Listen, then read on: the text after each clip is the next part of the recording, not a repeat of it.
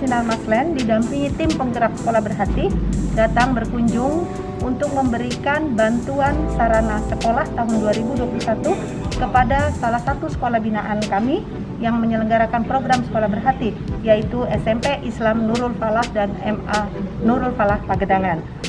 Bantuan ini berupa sarana UKS, sanitasi, peralatan eh, penghijauan, komposter dan aquaponik yang akan kami serahkan kepada sekolah SMP Islam Nurul Falah dan MA Nurul Falah Pagedangan untuk dapat lebih mengimplementasikan program sekolah berhati sehingga program ini akan menjadi uh, program unggulan untuk kemajuan pendidikan eh, anak-anak uh, kita di sekolah ini.